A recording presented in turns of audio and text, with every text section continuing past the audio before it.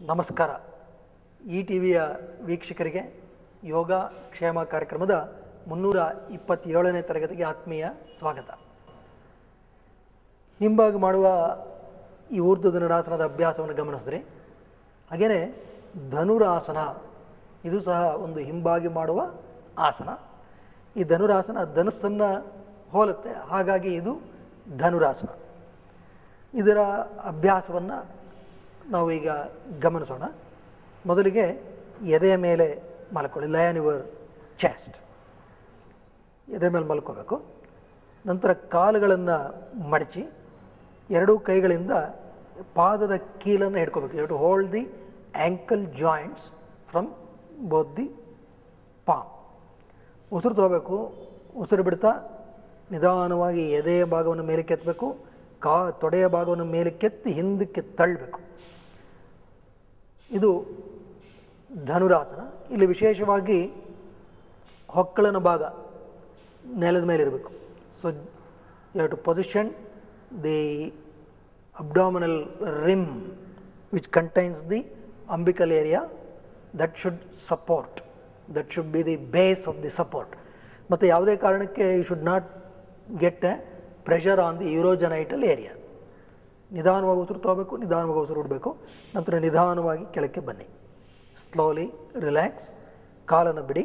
Just B relaxed ಈ ಧನುರಾಸನ ಮಾಡಬೇಕಾದ್ರೆ ನಾವು ವಿಶೇಷವಾಗಿ ಈ ಭಾಗ ಇದೆ this rim of the abdomen which includes the umbilical area ಈ ಭಾಗವನ್ನು ವಿರಮಿಸಬೇಕು. ಯಾವುದೇ ಕಾರಣಕ್ಕೆ ಒತ್ತಡ ಈ ಪಕ್ಕೆಲುಬುಗಳ ಮೇಲಾಗಲಿ ಅಥವಾ ಈ ಬೋಗುಣಿಯ ಪ್ರದೇಶ ಪೆಲ್ವಿಕ್ ರೀಜನ್ ಇಲ್ಲಿರ್ತಕ್ಕಂತಹ ಈ ಅಸ್ಥಿಕೋರದ ಭಾಗದಲ್ಲಿರ್ತಕ್ಕಂತಹ ಈ ಯೂರೋಜನೈಟಲ್ ಏರಿಯಾ, ನಮ್ಮ ಎಲ್ಲ ಈ ಯೂರಿನರಿ, ಬ್ಲ್ಯಾಡರ್ ಮಹಿಳೆಯರಲ್ಲಿ ಯುಟರಸ್ ಓವರೀಸ್ ಪುರುಷರಲ್ಲಿ ಪ್ರೋಸ್ಟ್ರೇಟ್ ಗ್ಲ್ಯಾಂಡ್ ಇವುಗಳಿರ್ತಕ್ಕಂಥ ಈ ಭಾಗದ ಮೇಲೆ ಒತ್ತಡ ಬರಬಾರ್ದು. So this is not a area where you can put not of pressure ಹಾಗಾಗಿ the positioning is very important ನಾವು ಈ ಧನುರಾಸನ ಮಾಡಬೇಕಾದ್ರೆ ನಾವು ಎಷ್ಟು ಮೇಲೆ ಕೇಳ್ತೀವಿ ಅಂತಕ್ಕಂಥದ್ದು ಮುಖ್ಯ ಆಗೋದಿಲ್ಲ. ಯಾವ ಭಾಗದಲ್ಲಿ ನಾವು ಒತ್ತಡವನ್ನು ತೆಗೆದುಕೊತಾ ಇದ್ದೀವಿ ಅದು ಮುಖ್ಯ ಆಗುತ್ತೆ. ಮತ್ತು ಆ ಭಾಗದಲ್ಲಿ ವಿಶೇಷವಾಗಿ you have to rest this rim of the abdomen on the floor that should be the load bearing area ಅದು ಭಾಳ ಮುಖ್ಯ. ಅಲ್ಲಿ ನಿಧಾನವಾಗಿ ಉಸಿರು ತಗೋಬೇಕು ನಿಧಾನವಾಗಿ ಉಸಿರು ಬಿಡಬೇಕು ಅದು ಈ ಜೀರ್ಣಾಂಗದ ವ್ಯವಸ್ಥೆಯನ್ನು ಸಚೇತನಗೊಳಿಸೋದರಲ್ಲಿ ಸಾಕಷ್ಟು ಉಪಯುಕ್ತತೆಯನ್ನು ನೀಡುತ್ತೆ.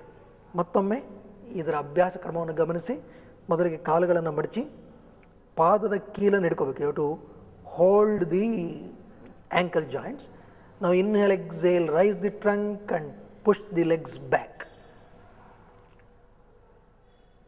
breathe well ನಿಧಾನವಾಗಿ ಉಸಿರು ತೊಗೊಳ್ಳಿ ನಿಧಾನವಾಗಿ ಉಸಿರು ಬಿಡಿ. Ensure that that rim of the abdomen is properly resting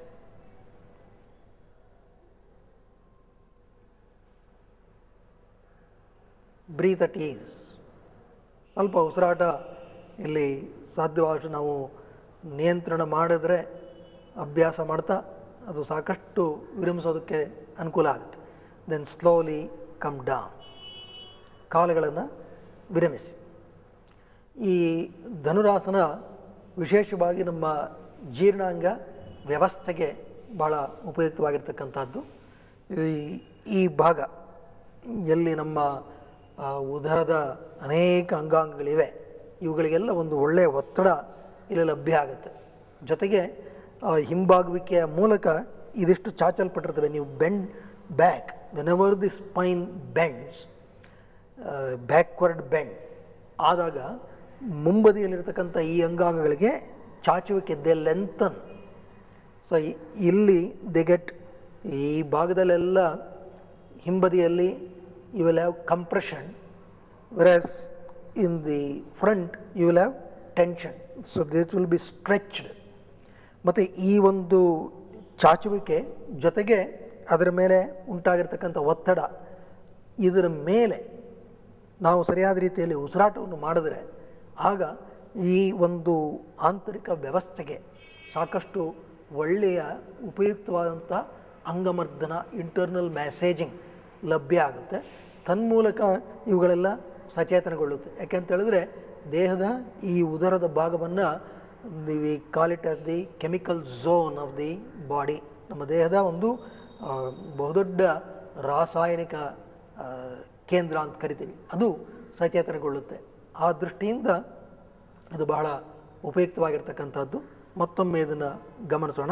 ಇದನ್ನು ವಿಶೇಷವಾಗಿ ಋತುಸ್ರಾವದ ಸಮಯದಲ್ಲಿ ಮಹಿಳೆಯರು ಇದರ ಅಭ್ಯಾಸವನ್ನು ಮಾಡಬಾರದು.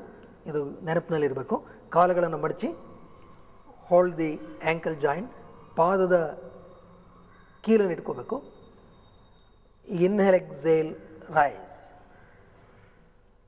ಹಾಗೆ. ಮತ್ತು ಉದರದ ಮೇಲೆ ಒತ್ತಡ ಇರುವಂತೆ ನಾವು ಗಮನಿಸಬೇಕಂತ ಹೇಳಿದ್ರೆ ತುಂಬ if you tilt too much like this it is not correct ಹೀಗೆ ಇರಬೇಕು. ಅದು ಉದರದ ಭಾಗಕ್ಕೆ ಒತ್ತಡ ಹೋಗಬೇಕು.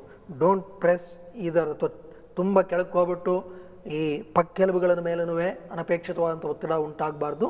ಹಾಗೆಯೇ ತುಂಬ ಕೆಳಮುಖವಾಗಿ ಬಂದರೆ ಇಲ್ಲಿರ್ತಕ್ಕಂಥ ಬೋಗುಣಿಯ ಪ್ರದೇಶ ವಸ್ತಿಕೋರದ ಭಾಗ ಅದ್ರ ಮೇಲೂ ಅನಪೇಕ್ಷಿತವಾದಂಥ ಒತ್ತಡ ಬರಬಾರ್ದು. ಇದು ಬಹಳ ಮುಖ್ಯ.